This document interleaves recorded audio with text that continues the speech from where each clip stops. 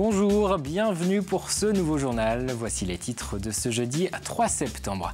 Une nouvelle rentrée, de nouveaux bâtiments et forcément des jeunes un peu perdus. Les élèves du collège Charles Milsando de Chalon ont débuté cette nouvelle année scolaire dans des locaux tout neufs. Comment s'est déroulée cette première rentrée?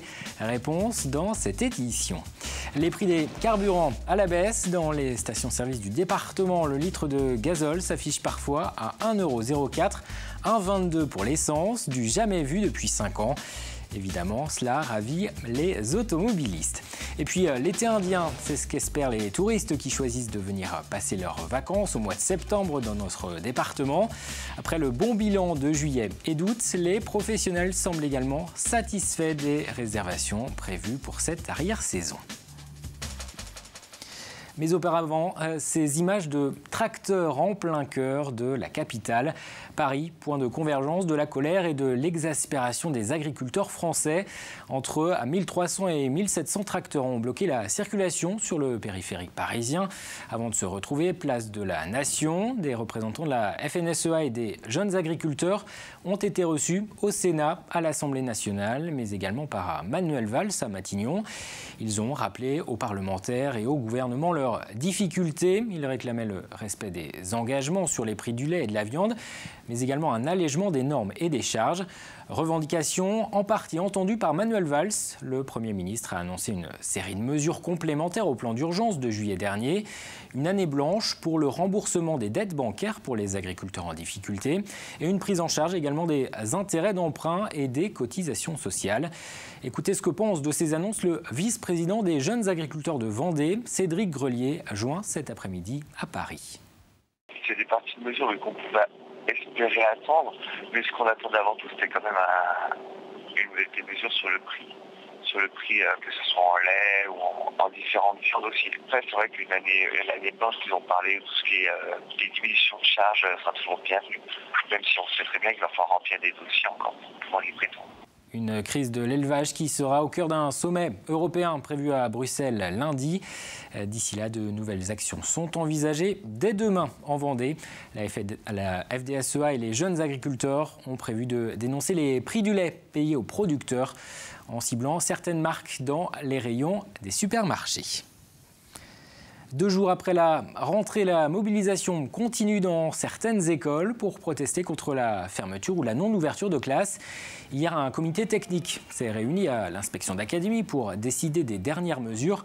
Aucune décision n'a été définitivement entérinée en raison du refus des syndicats. Alors pour le moment, huit ouvertures de classes sont envisagées, ainsi que l'annulation de 12 mesures de gel. C'est-à-dire qu'après comptage des élèves, le nombre de classes est maintenu.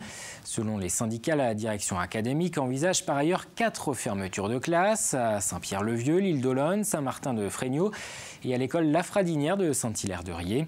Les syndicats espéraient aussi des ouvertures de classes dans six écoles du département, au vu des effectifs. Des ouvertures qui auraient été refusées à Cugan, à Moutier-les-Maufaits ou encore à l'école Léonce Gluard de La Roche-sur-Yon. Et selon les syndicats, la situation d'une dizaine d'autres écoles n'a même pas été étudiée lors de la réunion d'hier. Les représentants du monde enseignant ont donc décidé de rejeter cette carte scolaire à l'unanimité, une première selon eux dans le département. Le gros point noir qu'il y a eu cette année, puisque c'est historique dans le département que la rentrée soit bloquée comme ça euh, au 2 septembre, euh, ce, qui a vraiment posé souci, c'est qu'il y a 13 écoles euh, qui ont été mises en difficulté avec des enseignants qui étaient retirés au mois de juin, alors que les effectifs, comme les directrices et les directeurs le prévoyaient, ne nécessitaient pas ces mesures-là. Et, du coup, ce sont 13 écoles qui ont été désorganisées alors qu'il n'y avait aucune nécessité à le faire. La directrice académique l'ayant fait parce qu'elle panique un petit peu, elle voit qu'elle ne va pas avoir assez de moyens pour, euh, pour sa rentrée. Et de son côté, la directrice académique de Vendée n'a pas pu être jointe. Une nouvelle réunion sur, sur cette carte scolaire, la dernière, aura lieu mercredi prochain, le 9 septembre. On l'évoquait hier soir, les élèves du collège Charles Milsando de Chaland ont fait leur rentrée dans de nouveaux locaux. L'établissement a déménagé dans le courant de l'été pour intégrer des bâtiments tout neufs. Près de 870 élèves vont y étudier cette année. Des enfants, mais aussi euh, des professeurs qui vont devoir prendre leur repère au sein de cet établissement. Et forcément, ce matin, dans les couloirs, certains étaient déjà perdus. Reportage Pierre Dalicieux. À peine arrivé que c'est déjà le sujet de conversation en ce premier jour de classe pour les 5e, 4e et 3e. Le nouveau collège est sur toutes les lèvres et chacun a déjà son petit avis. Il est trop bien le collège. Il est trop beau en plus. La cour elle est un peu plus petite euh, que euh, dans l'ancien. Par rapport à celui de l'année dernière, euh, tout a changé. Il n'y a pas beaucoup de marches à monter. Il n'y a qu'un étage. Et en fait, moi j'aime bien l'extérieur. C'est bien l'extérieur, mais à l'intérieur, c'est un vrai labyrinthe dedans. Moi, j'arriverai pas à me repérer. Dans la salle des profs, on profite des derniers instants de calme.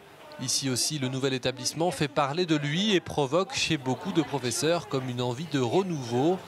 Avec les nouveaux murs, c'est une nouvelle dynamique qui se met en place. C'est un peu déstabilisant parce qu'on avait un peu nos habitudes, mais euh, non, c'est chouette. Nouveau matériel, nouvelle salle, euh, euh, matériel tout propre. Enfin bon, non, non, c'est vraiment très très agréable. Ça donne envie de faire plein de projets, ça, ça booste un petit peu. Et comme à chaque rentrée, il y a les retardataires, sauf que ce matin, beaucoup d'entre eux n'ont jamais mis les pieds dans ce collège. À la vie scolaire, on est donc un peu plus indulgent. Je pense qu'on en a beaucoup ce matin qui sont perdus, qui ne savent plus où est le bâtiment A, bâtiment C. Mais ça va aller.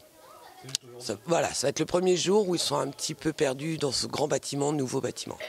Dans les classes, si tout est neuf, les élèves, eux, le sont moins. Ce professeur de mathématiques les a tout de suite placés lui-même histoire de démarrer sur de bonnes bases. Certains, je les connaissais déjà depuis l'an dernier, donc euh, on positionne les élèves dans la salle de sorte que ça se passe euh, le mieux possible euh, et le plus facilement possible. Vous savez déjà qui est... Certains, oui, on a déjà repéré certains élèves, on commence à avoir l'habitude, donc voilà. 9h20, ça y est, les couloirs sont vides, tout le monde a rejoint sa classe. L'année scolaire 2015-2016 peut enfin démarrer. Ce chiffre, à présent, 600, c'est le nombre d'élèves supplémentaires enregistrés pour cette nouvelle année scolaire par l'enseignement catholique de Vendée. Ils sont près de 63 200 à avoir fait leur rentrée dans un des établissements privés du département, dont plus de la moitié dans les écoles maternelles et élémentaires, des écoles qui sont restées à la semaine de 4 jours. La réforme des rythmes scolaires, c'est d'ailleurs l'un des chantiers que va mener l'enseignement catholique en Vendée ces prochains mois.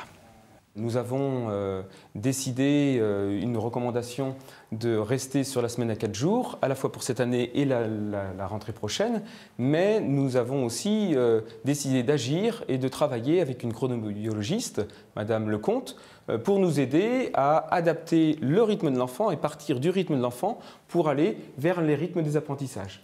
Et il y a donc euh, une vingtaine d'écoles qui, expérimentent, euh, ici ou là, euh, de nouvelles façons de travailler en fonction du rythme de l'enfant. Un mot de politique et le décès la nuit dernière de Jean-Luc Préel, député centriste de Vendée pendant quatre mandats de 1988 à 2012. Il avait également été conseiller municipal de La Roche-sur-Yon pendant 18 ans, élu également au conseil général puis au conseil régional. Médecin de profession, c'était un des spécialistes de questions de santé, nommé notamment vice-président de la commission des affaires sociales à l'Assemblée nationale. Il avait 74 ans, une disparition qui a suscité des réactions de nombreux élus du département aujourd'hui. La consommation de carburant a grimpé de 3,5% durant l'été. Les Français semblent avoir pris davantage leur voiture. Les départs en vacances sont une explication, mais les prix des carburants y sont sans doute pour quelque chose.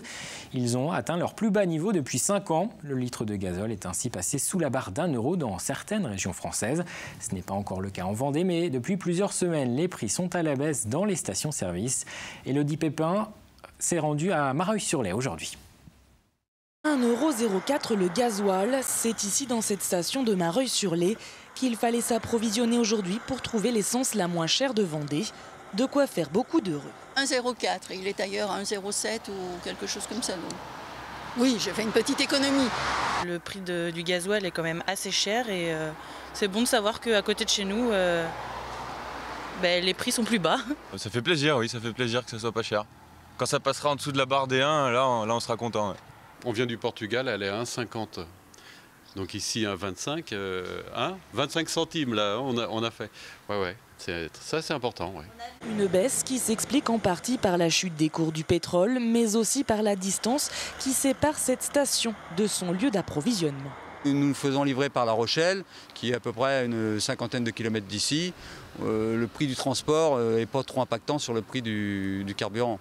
Forcément, mes collègues qui sont à La Roche-sur-Yon ou par exemple à Montaigu vont payer plus cher le transport et seront forcément un peu plus chers que moi. Un peu plus cher, mais finalement pas de différence significative entre les stations de Vendée du Sud ou du Nord. À 1 euro près le plein, toutes les stations affichent un prix intéressant, l'un des plus bas depuis 5 ans.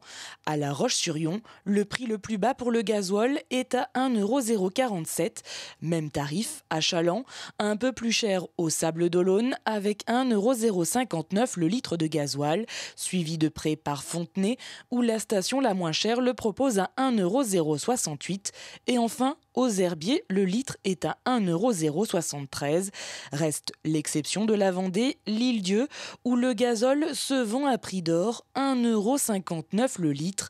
Avec une telle différence, le plein sur l'île-Dieu est 20 euros plus cher qu'à La Roche-sur-Yon. Un mot de musique avec le début demain de Facessi. C'est la 18e édition du festival de Mouilleron le Captif, avec pour tête d'affiche cette année M. Pokora, Brigitte, le groupe Trian ou encore Magic System. L'an dernier, 12 000 personnes avaient participé au festival. Les organisateurs en espèrent 15 000 jusqu'à dimanche. Première note de musique dans le parc de Beaupuy, demain donc à 19h. Et puis euh, fin septembre, ce sont près de 500 cavaliers qui sont attendus sur la plage de Saint-Jean-de-Mont pour la 14e édition de Caval Océane. C'est euh, l'une des manifestations équestres les plus importantes en France. Pendant deux jours, au rythme des marées basses, des animations, des spectacles, des épreuves de saut d'obstacles sont organisées sur le sable, juste en bord de mer. Caval Océane aura lieu les 19 et 20 septembre. Thème retenu cette année, les jeunes talents. Écoutez la responsable de l'organisation. L'état d'esprit de Kamalsan, c'est qu'on puisse pratiquer aussi. Donc il va y avoir de proposer des baptêmes à cheval, des baptêmes en poney, des balades en attelage sur l'esplanade, et puis des pratiques plus atypiques aussi. Euh, ben, on va pouvoir faire une balade accrue dans l'eau, euh, en maillot de bain, donc ça c'est sur euh, réservation près du centre équestre, et découvrir des nouvelles pratiques qu'on connaît moins, comme le horseball en fait, un mélange de rugby et de basket à cheval, très dynamique, des règles simples et un sport très vif. Et Caval Océane, c'est l'un des événements qui dynamise ce mois de septembre dans le département. Une arrière-saison justement qui s'annonce bonne pour les professionnels du tourisme en Vendée. À l'image de juillet et août, 78% des responsables de camping, d'hôtels estiment que les réservations pour ce mois de septembre sont équivalentes ou supérieures à l'an dernier. Sentiment plus mitigé pour les propriétaires de meublés et de chambres d'hôtes qui ne sont que 55% à afficher leur satisfaction. Un temps encore agréable, moins de monde et des tarifs moins chers. Voilà ce qui pousse les touristes qui le peuvent à choisir septembre plutôt que la haute saison. C'est d'ailleurs l'un des meilleurs mois de l'année après juillet et août pour les professionnels. Exemple à Saint-Jean-de-Mont, Cyril Guillet. À l'heure où une bonne partie des Français a repris le chemin des bureaux, chaque année ils sont nombreux à préférer décaler leurs vacances pour profiter dans le calme du littoral vendéen. C'est une première. Euh, les enfants ayant grandi et partent sans nous, donc euh, ben, on s'habitue à, partir en décalé. On n'est pas les uns sur les autres, euh, on peut se balader tranquillement. c'est pratique. Quand on voit le monde à la télé en mois de juillet, on se dit qu'on a de la chance au mois de septembre. Parmi ces chanceux, beaucoup de retraités bien sûr, et de nombreuses familles avec des enfants en bas âge. Le calme, le beau temps, les, il y a encore quelques commerces ouverts, donc c'est très agréable. Et puis, euh, il y a pas mal d'activités, donc on profite des, années où euh, on n'est pas encore euh, soumis aux contraintes scolaires. Et je pense qu'après, on aura beaucoup moins de flexibilité et on sera obligé de, venir en juillet et août avec, avec le monde. Autre argument avancé pour profiter de la douceur des rayons du soleil du mois de septembre, le prix. Ah ben sur les locations, nous ce qu'on peut constater c'est qu'entre la, la, période, la première quinzaine d'août et puis euh, la première quinzaine de septembre, euh, on trouve quasi 50%. Hein. Un soleil bien présent, du calme et des tarifs attractifs. Ici à Saint-Jean-de-Mont, le mois de septembre est de plus en plus prisé par les touristes. Le mois de septembre et l'automne de manière générale euh, connaît une forte fréquentation et une forte progression. Ça représente aujourd'hui 17% de notre fréquentation euh, touristique globale et donc l'enjeu est évidemment très important pour une station comme Saint-Jean-de-Mont. Un chiffre en constante évolution dû à l'augmentation entre autres des résidences secondaires sur la commune ainsi que la multiplication des séjours courts.